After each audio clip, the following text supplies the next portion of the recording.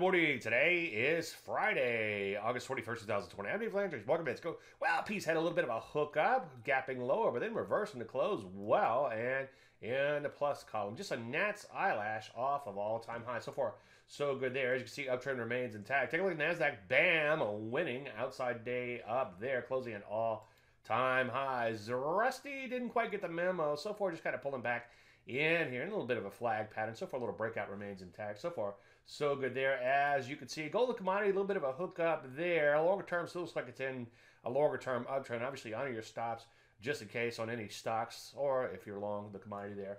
Obviously, if it takes out that pullback low, I'd begin to get a little bit concerned in here. Some areas like biotech beginning to kind of roll over overall. I'm not going to get too excited just yet. Still seeing some individual issues set up, but obviously I can't ignore this forever. For the most part, though, most areas look pretty good, remaining in longer term uptrend, especially most technology related areas. So, what do we do? Well, continue to follow along. Any questions? Dave, DaveLandry.com. I'm Dave Landry, and you started Mark Minute.